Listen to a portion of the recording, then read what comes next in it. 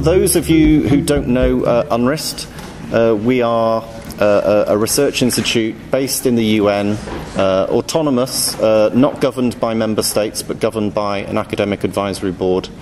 And since 1963, we've taken forward research on areas of social policy and social development. Um, that need is still very much with us today. Um, and in the context of the newly agreed Agenda 2030 on development, a lot of our work is uh, arranged around topics that we believe will be very important to meeting the new set of goals that governments have agreed to, including on social protection, uh, the role of uh, women and girls, and the nexus between uh, environmental policy and social policy and economic policy. As I mentioned, there are very strong recommitments to social protection in Agenda 2030.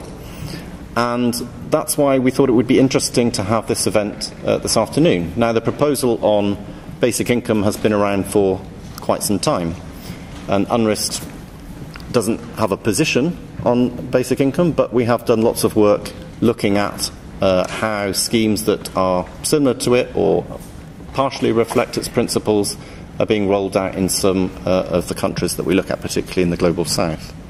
Now, the Swiss vote on basic income provides us with an opportunity to bring that debate together once again and consider the pros and cons. And I think importantly, the pros and cons in different uh, country uh, contexts.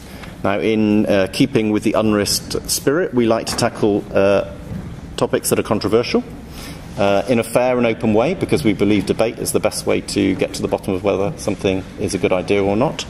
And the panel that we've tried to put together today uh, will probably present differing views on the merits or, or not of uh, basic income.